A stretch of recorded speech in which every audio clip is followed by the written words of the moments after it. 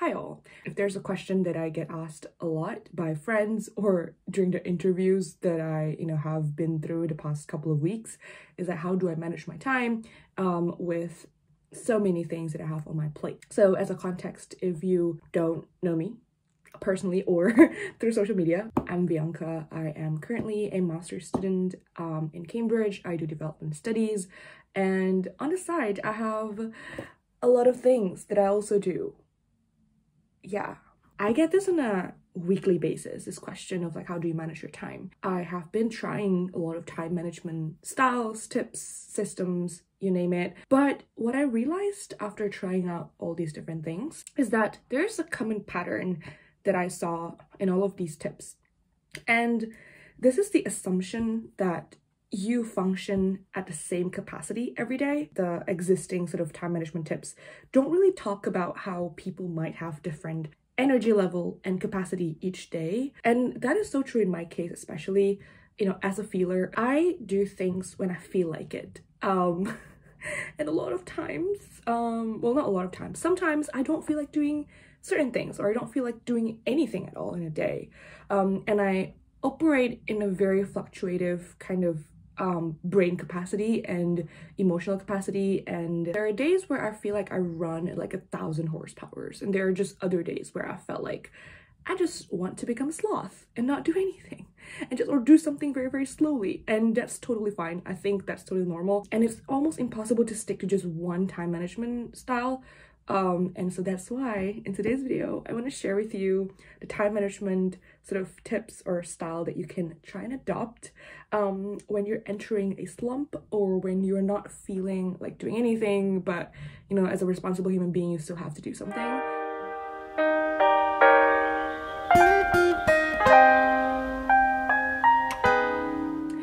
Number one, just a very universal tip. It doesn't necessarily have anything to do with you know, feeling like you want to be a sloth or don't want to do anything in a day is to use Google Calendar. Use Google Calendar to basically drop everything that you need to do, attending events, any deadlines, like little tasks, even like doing laundry or like doing grocery. Because if you don't put it on your calendar, I think you wouldn't be able to get a sense of like what your week looks like or what your day looks like.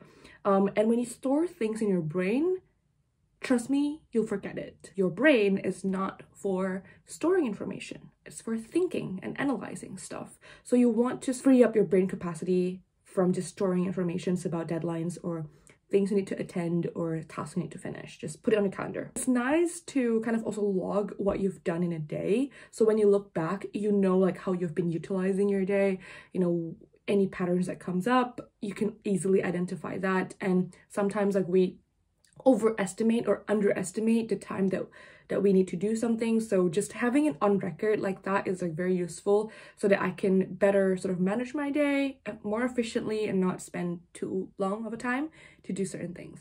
Now for the days where you're just a sloth right? I figured this is like the best sort of solution for me is just to to do one thing. I know it's, it's very anticlimactic. No matter what it is. It could be cooking for yourself, doing your laundry, um, or typing a single paragraph of your essay. I did that when I was feeling very overwhelmed with all of my assignments and life and all the other things that I need to do. And to me, finding out that I wake up and I just do one thing and like I allow myself to be okay with it and to acknowledge like, okay, I just don't have the energy or the brain capacity to do anything else the fact that I have done that one thing is already enough for me.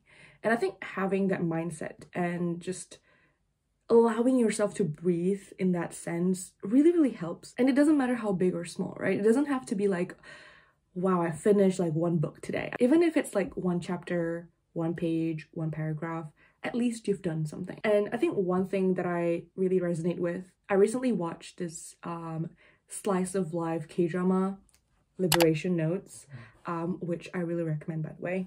Um, and one of the things that the main character said in regards to happiness, um, she doesn't try to be, you know, happy all day, but just having a few seconds of happiness in a day is enough. It doesn't have to be, you know, like being productive nine to five and filling in every hour every day to do something. It could just be a very, very tiny thing, very simple thing that you do in that day. Um, and that's already a win for you. And you get to define what this is, right? For me, like I said, I don't care how big or small my task is or, or my something that I complete in a day, as long as it's something that I completed, and that's already a good good enough thing for me. And then whatever other thing that I decided to do that day, then that's a bonus. And number three, also schedule leisure time.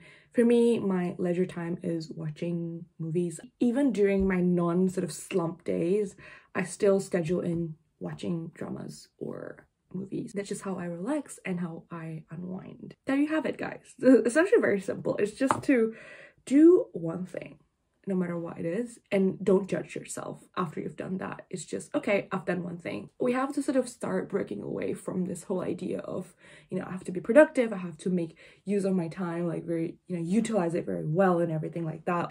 But I do recommend you to read this book called 4,000 Weeks by uh, Oliver Burkeman. I think that's how you pronounce his name. Um, I'm looking at that because the book is there. Um, and yeah, um, I would really recommend that book. It talks about the art of disentangling yourself from the idea that you need to sort of fill in all of your calendars and to be productive. It really teaches me kind of this other perspective that you shouldn't be looking at, you know, your your life as only to like produce and only to work and work and work, which is what I've been doing actually. Um, again, especially during my high energy days. Um, and I'm still on my way to sort of learn and unlearn the way I use my time. But yeah, really recommend the book once again. Go ahead and read it if you are interested.